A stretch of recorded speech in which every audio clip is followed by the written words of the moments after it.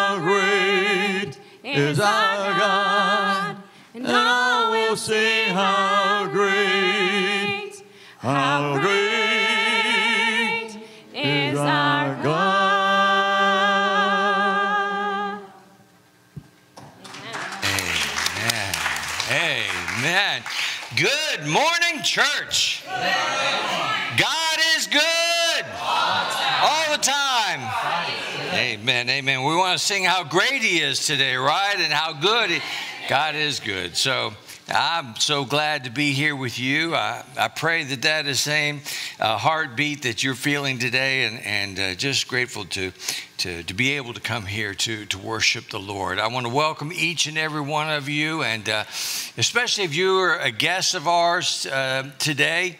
Uh, we're glad that you've come to worship with us. Uh, I want to invite you to be able to connect with us, or that might even include, say, that you've been here even two or three times and, and you've not shared with us who you are a little bit. Help us to connect with you that we might be able to be more effective in ministering to whatever needs that you have. Uh, so I invite you to find the card in the pocket of the seat in front of you. It's called the connection card, and fill out whatever you feel comfortable sharing about yourself. You may want to make some comments or even ask questions or, or request information, but we also want to partner with you in prayer, and there's a place on the back for prayer requests. Now, I would say that today is also an exception to even the prayer request because I'll tell you about an insert that we have in just a moment in the bulletin. But if you would take the connection card to the connection center, the counter to the left as you're heading in that direction at the end of the service. We just want to give you a, just a small gift of appreciation. Um, uh, just glad that you're here. So um, uh, we invite you to do that. If you open up your bulletin uh, with me, the first thing that you will notice is an insert there that uh, applies to today's message in uh, Mark chapter 2. We're uh, preaching a series through the Gospel of Mark. We're only in the second chapter out of 16, so we got a ways to go, but a great passage today.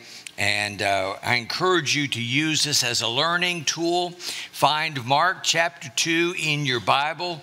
I encourage you all to bring Bibles when you come to worship here, but if you don't, please find a blue Bible under the seats of some of those chairs there, and you can find page 708. 708 should say Mark chapter 2, and uh, you bookmark it there, and we'll get to God's Word in just a little bit.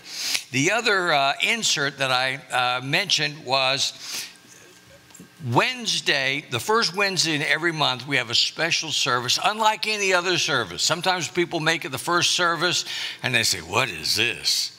But it's called uplift. It is quite a bit uplifting in the time that we devote to prayer and to praising God. And something we call brag on Jesus, sharing testimonies that's very encouraging. But we also provide prayer lists. And if you need an update on a prayer, previous prayer request, or if you have a new prayer request, you can use this. Either drop it in the uh, boxes uh, before you leave or take it to the connection center and we'll update that. So mark it on your calendar july 7 july 7 that's a week from this wednesday. I encourage you to uh, uh, to come and join us in that very special uh, time. Prayer is is vital in the gathering of god's people and there's something special about that uh, service that will truly change you uh, last uh, Sunday, we gave out these invitations. This uh, tomorrow is a very special event, or starting a special event in the life of our church. Uh, our outreach to children and, and Bible teaching for the summer is called Five Day Club. Five days, or this Monday, tomorrow through July 2. They meet every uh, day for five days starting at noon. Um, if you didn't get one, there's a few more at the Connection Center. I hope most of you don't have one of these because you already gave it away. You gave it as an invitation to a family that has children or, or whatnot. And uh, And please be in prayer. We're going to pray for that in just a moment, but, but uh, this is vitally important, and we just need God to show up in a big way. So uh, I encourage you to do that. So we've talked about Five Day Club and uh, looking at some of the uh, things ahead, uplifts I've already mentioned. I'll speak more at the end of the service, so I'll save your time right now. But a very special guest of ours is coming on July 11. His name is Michael Facciani. If you arrived early enough, he's the voice that's singing over the speakers. And uh, just to get you uh, familiar with his uh, voice, uh, he'll sing a, a, little bit in the service uh, that evening dedicated to his uh, presentation. And then on the next day, he holds about an hour workshop on Monday on teaching us how to write our story for our legacy. I want to remind you that, uh, we're planning a trip to the Tabernacle down in Tarpon Springs. Uh, if you want to know more about that great museum, uh, ask uh, Elaine, and, uh, and there's a sign up at the Connection Center to see how many people are interested in uh, going. Uh, one last thing that I'll, I'll, mention real quick is uh, some time ago, earlier in the year, I asked y'all to donate to CMA and its missionary efforts all around the globe for years and years and years that I know of, our goal has always been $5 million and never be able to, to make it. When, even this year, we tried something new is, hey, buy tickets to Angelotti's and uh, you get a free spaghetti dinner uh, or, you know, you're contributing to that and giving to the mission. I want to announce to you today that the results of that run for the sun, S-O-N, was, was it was announced at a big um, national rally for the first time. $5.3 million was raised. Amen. Amen. The really great news is that God did that through a COVID year. All the years, uh, we've never been able to make that goal, and yet in the year of, of the, the pandemic, we exceeded the goal. One other good news before I, I pray is to it has been estimated through the work of the Jesus Film Project, the Open Doors Project, which is uh, uh, ministering to persecuted uh, Christians around the globe, and uh, another um, missionary called Missionary Ventures that provides uh, vehicles, primarily motorcycles, to pastors in, in faraway places to be able to minister. To which, by the way, the local river riders, my chapter, and, and Lenny and Sheila, and a, a number of others, uh, we were raised enough money to send a motorcycle uh, to a pastor somewhere in this world. So it is really great news. But amen, amen but it's usually estimated by the results of the people who are saved by CMA's efforts is equal to one life per dollar. Wow. So just think that when you get to heaven and you get to con- what your contributions meant, well, is that you will meet 5.3 million people that got get saved in the next year because you've been a vital part of it. That's kingdom work. That's what we're a part, even in a small way, here in a small place called Beverly Hills. So I just want you to be able to brag on Jesus, to celebrate uh, Jesus, and your part that you have played when, when you give. So I just thank you for that. Thank you. You've always been loyal and faithful, and I appreciate you so much. Let's go to the Lord right now. Father, we do give you all thanks, honor, and glory.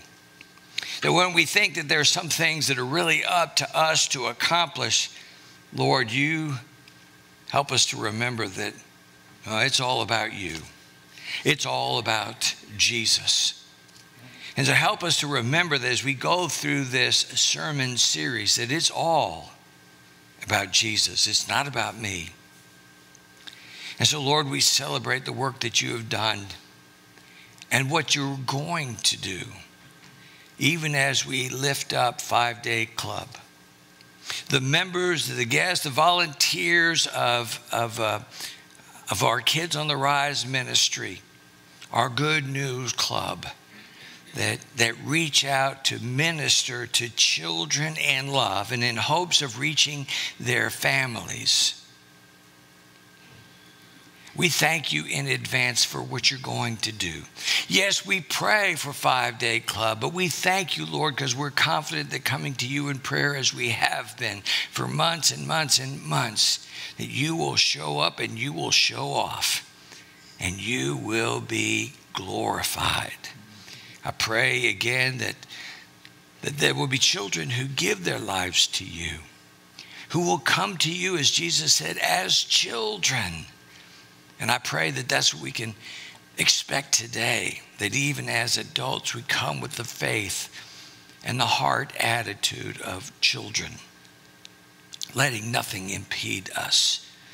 Father, may we draw close to you in this time of worship that what we think, what we say, we do, what is glorifying to you.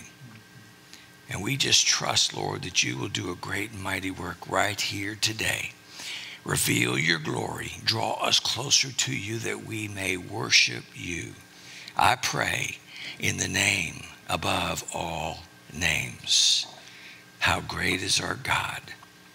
In Jesus' name, amen. Amen. Praise team, please lead us. We make a lot of decisions every single day. Some of the decisions are small, and some of the decisions are big. But life is full of many decisions. But I choose to live for Him who died for me. Why? Because it's all about Jesus. Let's stand and sing together.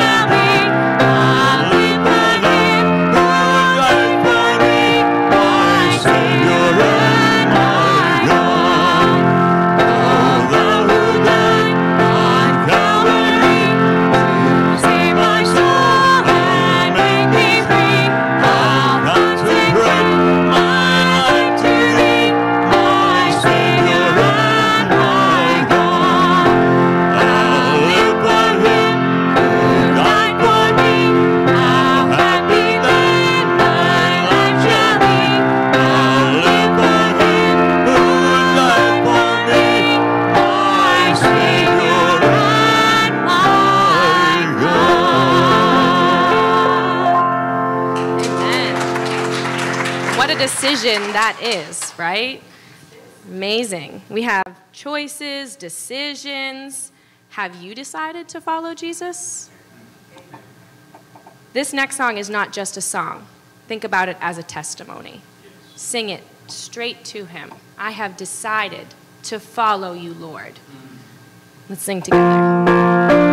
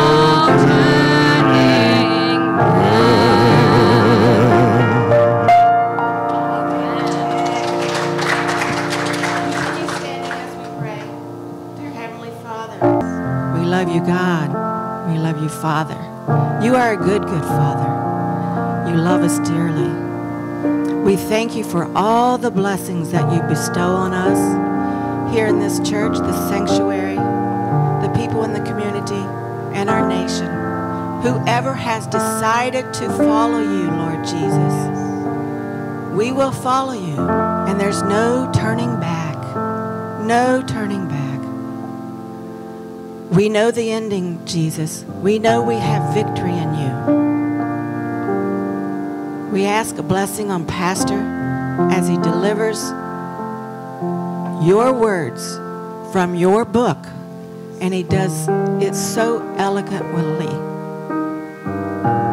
Bless him, Lord, as he delivers the message today to all of us in this sanctuary, to all of us who are listening in YouTube. May they not fall on deaf ears.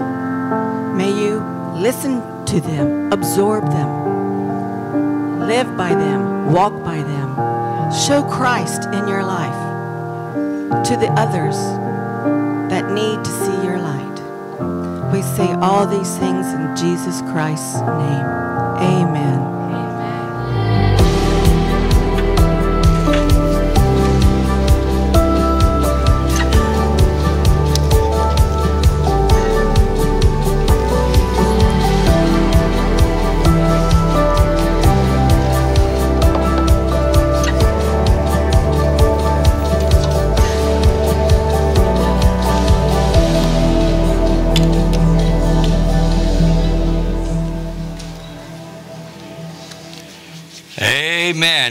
Is all about Jesus.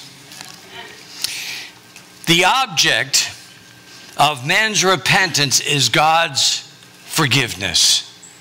And that is the dual theme of the gospel that men and women must turn from their sin in order to, uh, for God to forgive, to cleanse, to save them.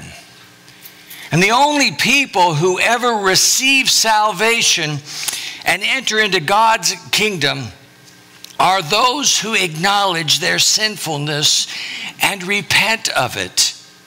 It follows then that those who consider themselves already to be righteous uh, see no need for repentance or forgiveness, and thereby they shut themselves out from salvation in the kingdom of God. And it also follows that, that the righteousness that you may perceive to have in not needing any repentance, even as a Christian, is unpleasing to God and therefore will deny you of his blessings. Pride was the root cause of the fall. And therefore, humility must be the first Christian discipline. Uh, Augustine of Hippo once said, It was pride that changed angels into devils. It is humility that makes men as angels. Pastor Josh uh, uh, Rivas from Jacksonville said that one of the keys to humility is hating my own sin more than I hate everyone else's. Our sermon series, Church Family, is uh, through the Gospel of Mark and it's called It's All About Jesus. Now, today we're in Mark chapter 2, as I said earlier, looking specifically at verses 13 to 17. Now, my ESV Bible uh, titles it Jesus Calls Levi. Uh, but my message, however, is titled Matthew Party. Now, Levi and Matthew happen to be the same person, just as Simon uh, later is called uh, uh, Peter by Jesus. So, the calling of Levi or Matthew to follow Jesus is found in Matthew's gospel, as we might well ex- ex- expect, here in Mark, of course, and also in Luke. Now, both Mark and Luke refer to him as Levi. Matthew is the name that he gives himself in his own gospel. So, if it's okay with you, I'm going to call him Matthew today, all right? But as we open up our Bibles, I want to invite you to stand with me as we read God's Word together to honor the reading of God's Word. Again, Matthew chapter 2, verse 13 to 17, or page 708 if you're looking at the church Bible. I'm in the ESV translation.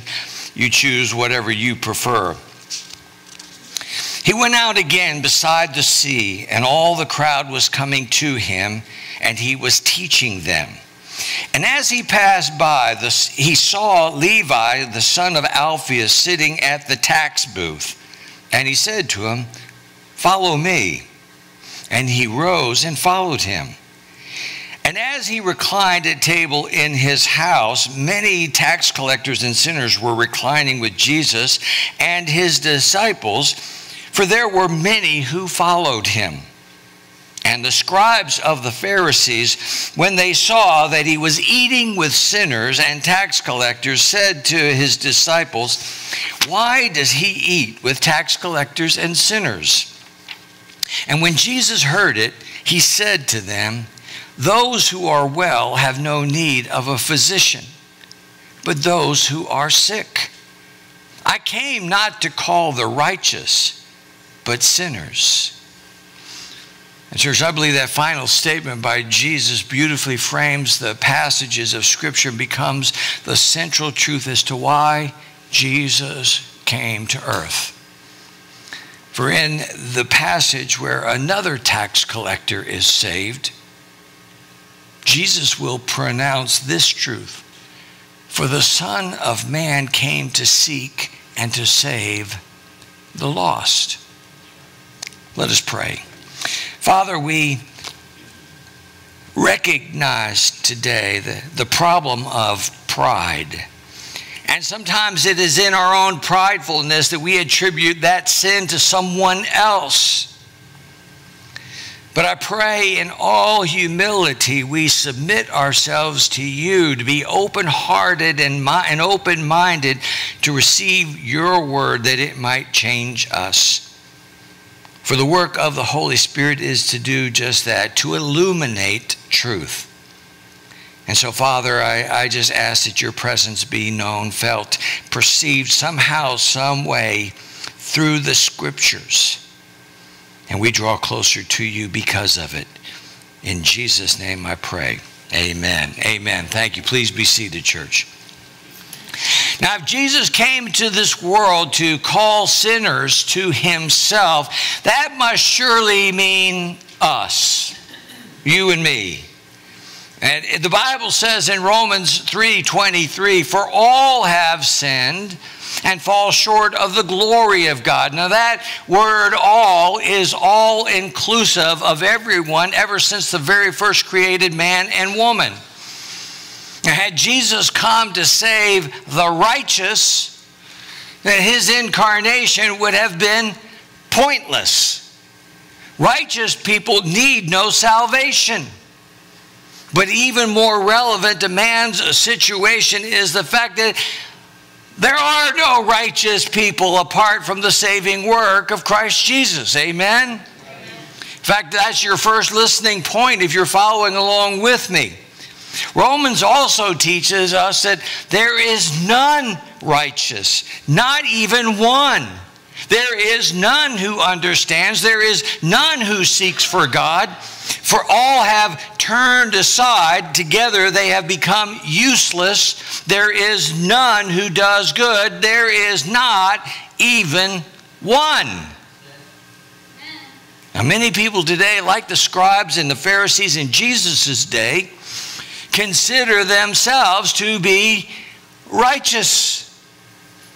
And for them, Jesus offers no hope or, or help because in their hearts they admit no need. The, the, the, gospel declares that every man is sinful, separated from God, and condemned to hell by their own choice. A person will not seek to be saved until he realizes that he's lost. And this is why I led with the quote from Augustine this morning saying that it was pride that changed angels into devils. It is humility that makes men as angels. Pride caused Lucifer to rebel against God, and then after being expelled from heaven, becoming Satan, he led Adam and Eve to the same consequences.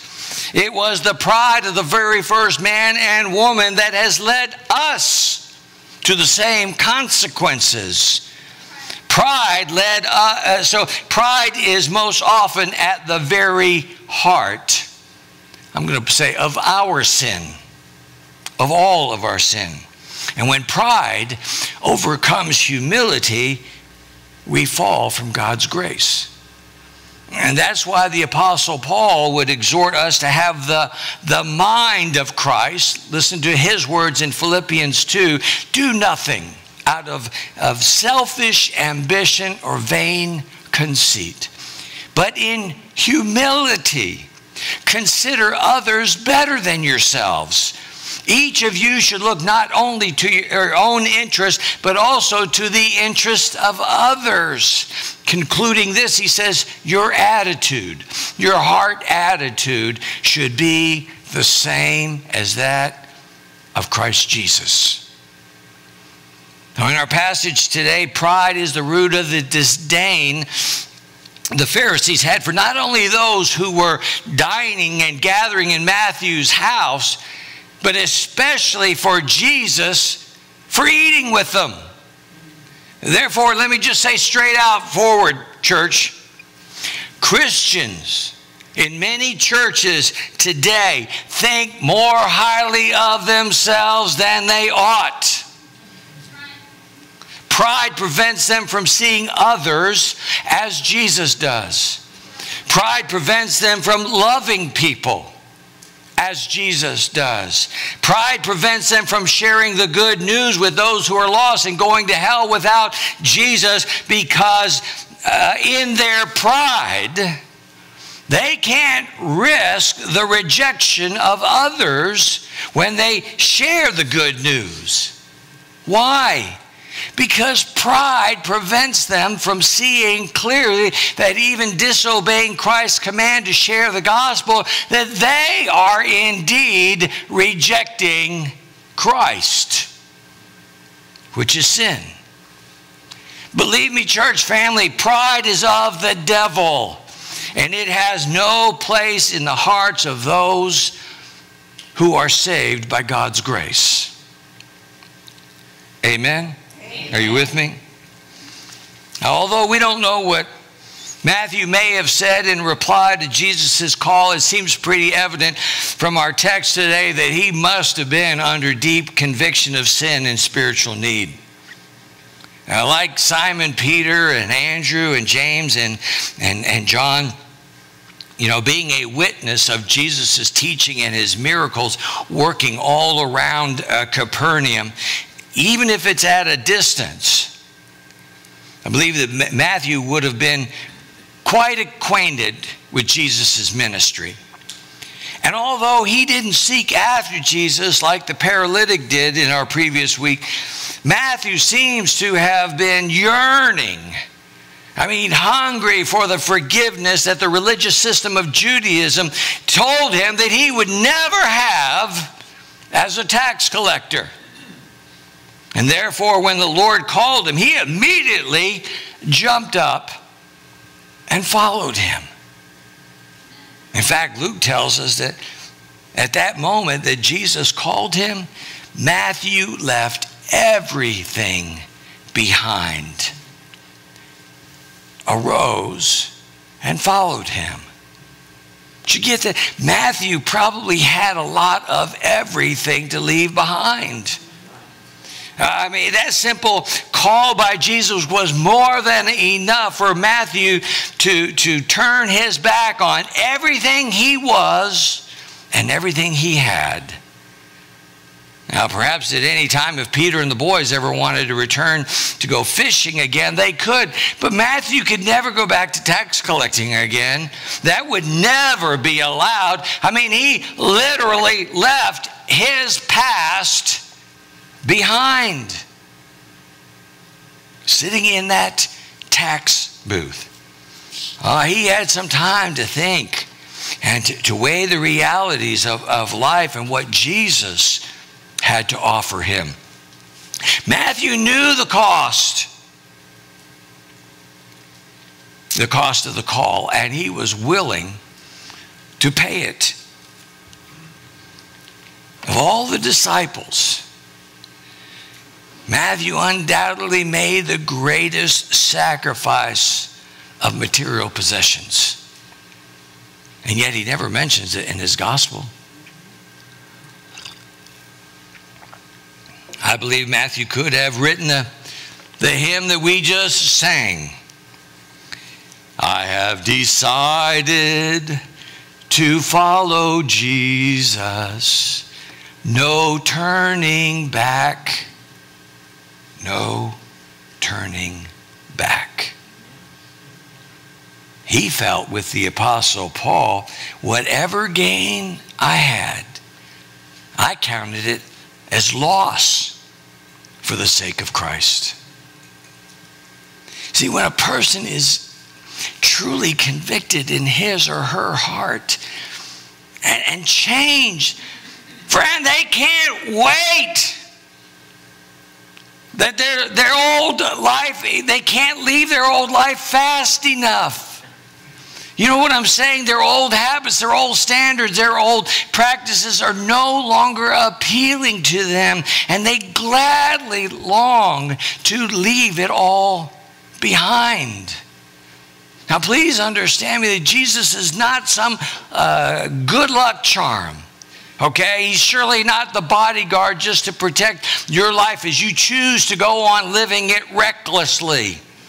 He is alive. He spiritually speaks to people through prayer, through the reading of God's word and calling them to follow him and live obediently to his ways because it is his ways that protect our lives. Because he's calling you to, to follow him right now He's calling you to follow him right now. He demands a response. Your response will require you to, to turn from your ways.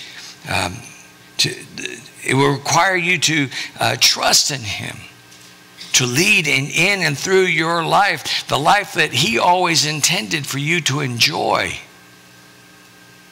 His call on your life will require uh, you to make some adjustments, to develop some new disciplines and habits. To follow Jesus will cost you something. Still, will you follow him? Or will you pridely, pridefully reject him? See, the call is simple. It was just two words follow me. The call is an invitation, my friends. It's not a set of instructions. The call is not a set of rules, uh, but a relationship. Oh, there is no point, a finger pointing, it is just embracing arms. He didn't command Matthew to begin a, a life of impersonal religious rituals, but he invited him to join him on the road, to walk with him, to live with him, to learn from him, to, to witness him, to follow him. To follow Jesus is a commitment of the heart, my friends, for a new to a new lifestyle and to a new life.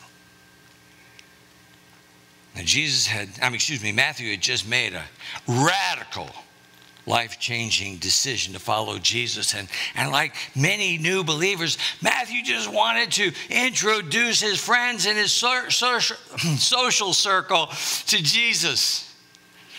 And, and I can relate to Matthew, can't you? I'm, I'm, telling you, I mean, I couldn't wait to tell others uh, about my, the decision that I made. You know, I went to work right after church the very day that I surrendered my life to Jesus, and I told everybody in my office about the most wonderful decision in my life. And why would anyone who who makes the most important decision in their life ever want to keep it a secret? I don't know.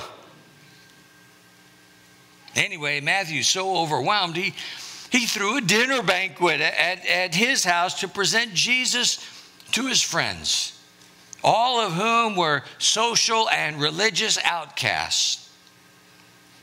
If your Bibles are still open, look at 15 with me. And as he reclined at table in house, again, reclined at table is the position that one actually took at the dining table.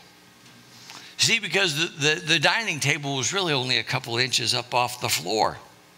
So they literally reclined at the, the table. Actually, the, that the same is true about the Last Supper that Jesus had with his disciples, which is what we remember today in the Lord's Supper.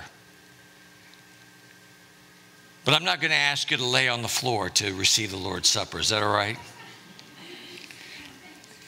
His social circle, Matthew's social circle, is comprised of society's outcasts. Many tax collectors and sinners were reclining with Jesus and his disciples, for there were many who followed him. Now, the tax collectors and sinners most likely included robbers and drunkards some prostitutes. I imagine some bikers were there, right?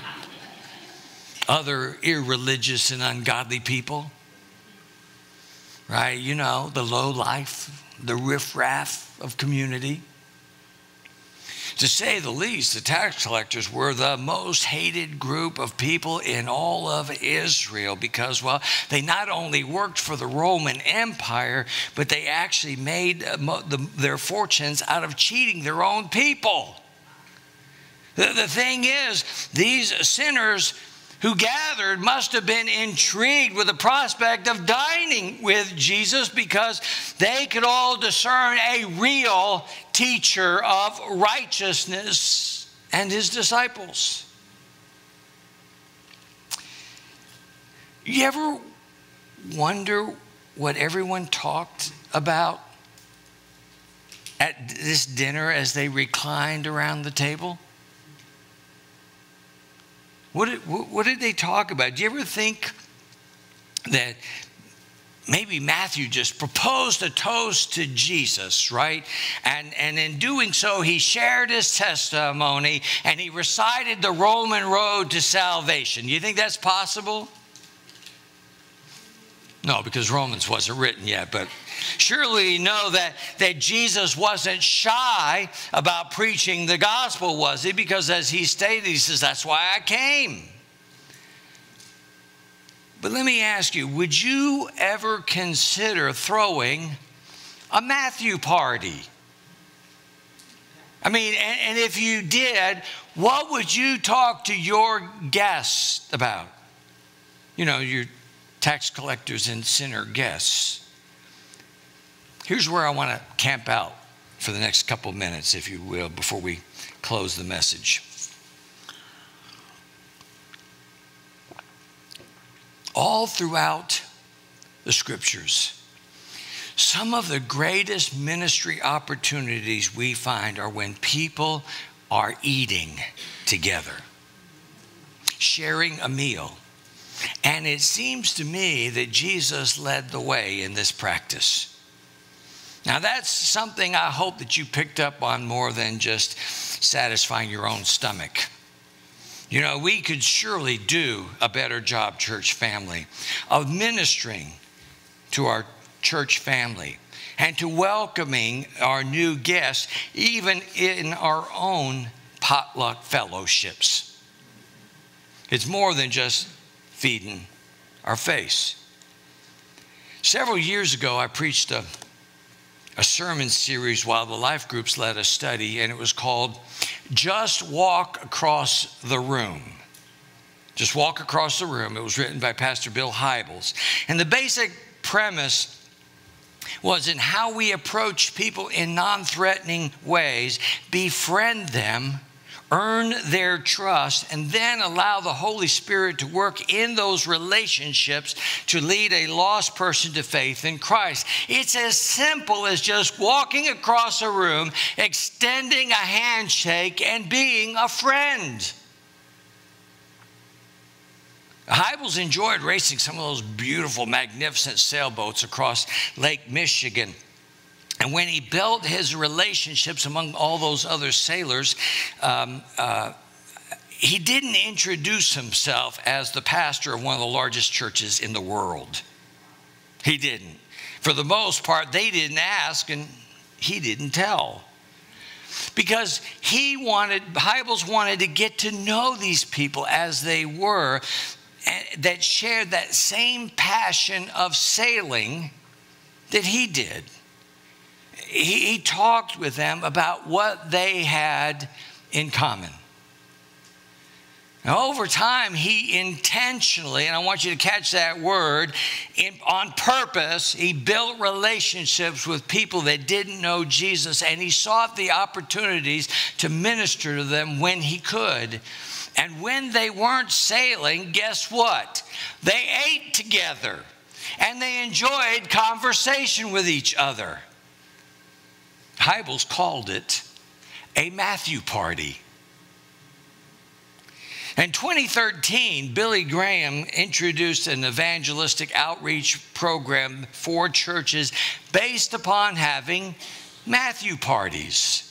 And I still have some of the old uh, brochures that we use, and, and there's several out at the uh, uh, Connection Center. Uh, if you're interested in looking at it, there's some things that, that pertain strictly to the campaign and some other helpful uh, events about what we did then but it was helping us to reach out to our neighbors in those non threatening environments. And the same principle applied. Be intentional about sharing meals with people who don't know Jesus. And so, in casual conversation, we find out what you have in common with them. Now, of course, if you work with them, you've already got a great start. So, how well do you know your neighbors? And what if you were to invite your neighbors over to your house, say for a 4th of July barbecue? It's only in a week, right? Would you maybe even consider the idea sometime in the summer? But if you were to sit and talk with your neighbors, what would you talk about? I mean, have you ever thought about that before? I bet you if, if the first things in your conversation with them are about Jesus, they'd swear they'd never talk to you again. Nevertheless, it's the engagement that we ought to have, be intentional with those in our circle of influence, wherever we spend our time. There's some of you out there who may like to play golf. Some of you like to work out at the gym. Some of you prefer to be out on the water in your spare time. And so you meet people that you have something in common with. And so then you intentionally get to know them. It's as simple as walking across the uh, room and shaking someone's hand. Now, I said the greatest ministry opportunities are found when people are eating together. It's true. There's something personal about eating with someone because, as the Pharisees have pointed out to us today, you're not judgmental about the people that you choose to eat with. I mean, am I right? I mean, you're not going to eat with somebody you don't like. But that's why Jesus ate with sinners. He wasn't saying to them that because he's eating with them that he was just like them. No, because Jesus wasn't like anyone that he ever ate with. But he ate with them to show them that he loved them just as they were. Jesus chose to eat with sinners because they needed to know that repentance and forgiveness were available. And how would they ever know that if he never spent any time with them?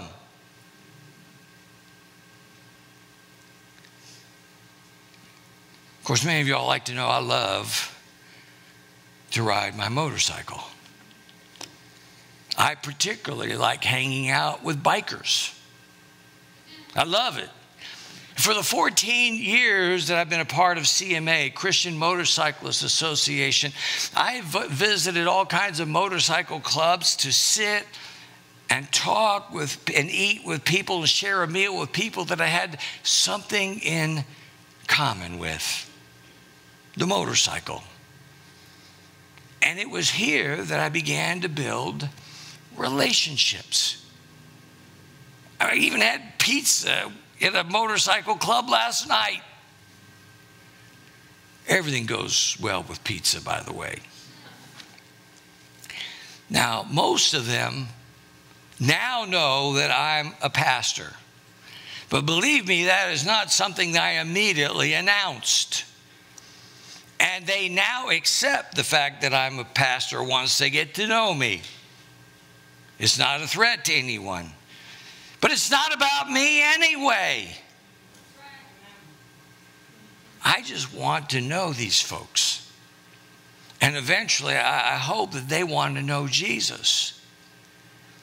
Uh, some of them do know Jesus, and some of them live very far from Jesus. And in that time, I have built some wonderful relationships that I enjoy.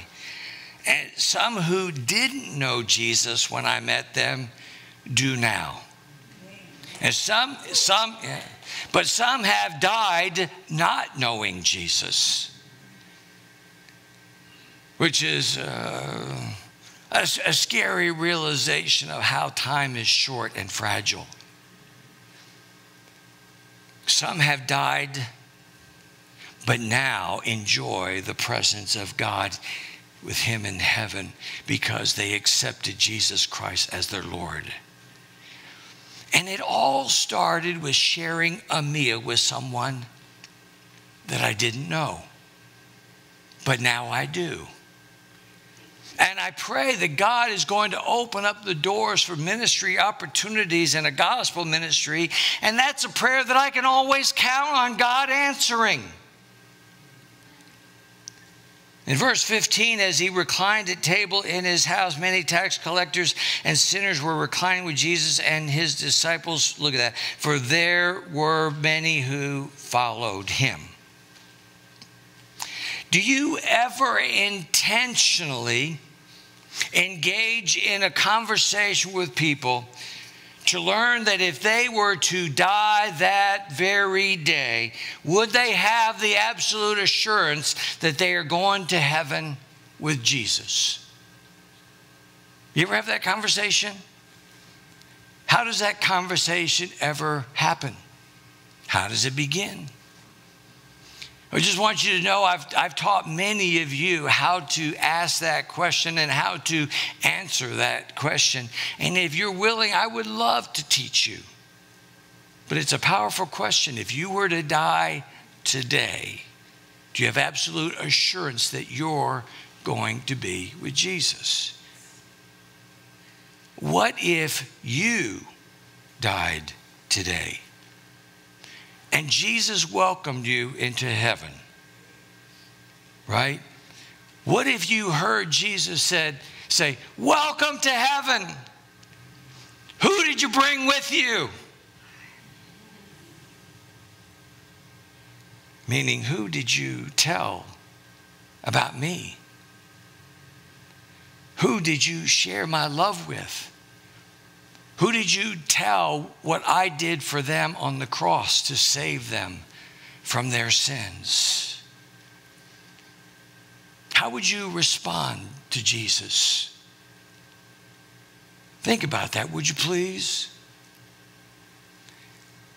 And by the way, you know, uh, let me just say, where is it?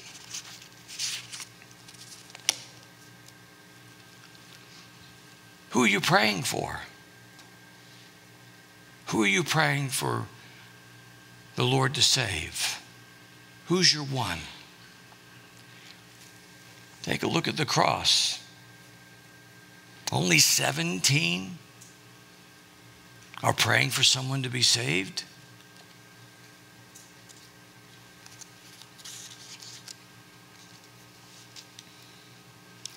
Verse 16, and the scribes and the Pharisees, when they saw that he was eating with sinners and tax collectors, I mean, you just hear them seething sinners and tax collectors.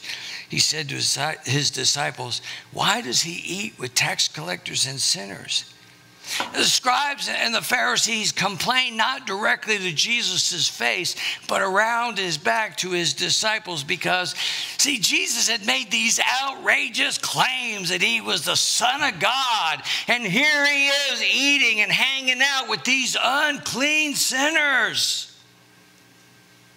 Jesus ate with tax collectors and sinners because it was a sign of friendship and relationship.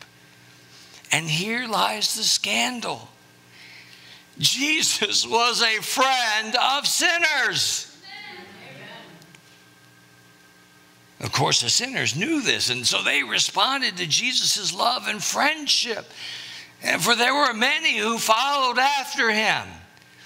Isn't that what happened when we learned that Jesus loved us, that he was our friend? I mean, isn't that what happened to you like it did me? Isn't that the hope that we want to have for other people that when they learn the same thing that, that we once did?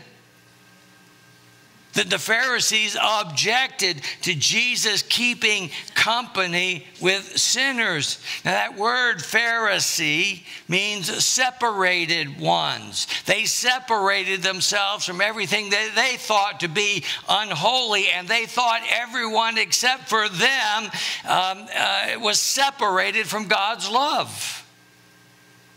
Now, some of the people Jesus wants us to reach out to in love are those who have been hurt by priests and pastors and church folk who thought that they were better than everyone else because they went to church and were religious. If Jesus was to reach the lost, he must have some contact with them.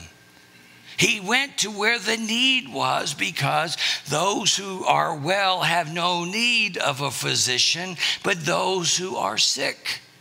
He said, I came not to call the righteous, but the sinners. The fact that Jesus ate with sinners shows that he looked beyond the culture and into people's hearts. Whereas the separated ones, the Pharisees disregarded people because of their past behavior, where Jesus saw the spiritual need. Jesus loves them so much that he didn't want to leave them where they were in the life this world has to offer. And just as Jesus will not seek, or excuse me, just as a person will not seek healing until he's convinced that he's sick, he won't uh, seek uh, life until he acknowledges that he's dead.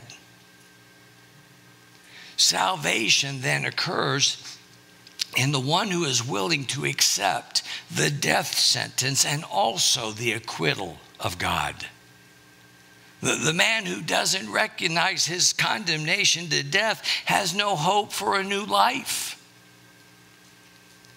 Jesus is the physician of the soul, and it makes made sense to him to be with those who were sick with sin. When Jesus ate with sinners, he didn't say that they had to get well before they could come to him. Right? But, but similar to when we go to visit our own personal uh, doctors, it's only after we come to Jesus that we get well.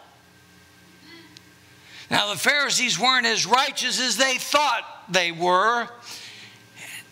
And truthfully, neither are we. Our righteousness comes from Jesus, not from how well we think that we keep a bunch of religious rules. The Apostle Paul sums it up this way, and, and, and I'll close on uh, his word in Romans chapter 3. But now God has shown us a way to be made right with him without keeping the requirements of the law, as was promised in the writings of Moses and the prophets long ago. We are made right with God by placing our faith in Jesus Christ. And this is true for everyone who believes, no matter who you are. For everyone has sinned, and we all fall short of God's glorious standard. Yet God, with undeserved kindness, declares that we are righteous and he did this through Christ Jesus when he freed us from the penalty for our sins. Uh, for God presented Jesus as the sacrifice for sin. People are made right with God when they believe that Jesus sacrificed his life, shedding his blood. This sacrifice shows that God was being fair when he held back and did not punish those who sinned in times past, for he was looking ahead and including them in what he would do in the present time. God did this to demonstrate his righteousness, for he himself is fair and just and he declares sinners to be right in his sight when they believe in Jesus. Amen. And today, as we leave, let's stand together and sing these words and help us remember throughout the week.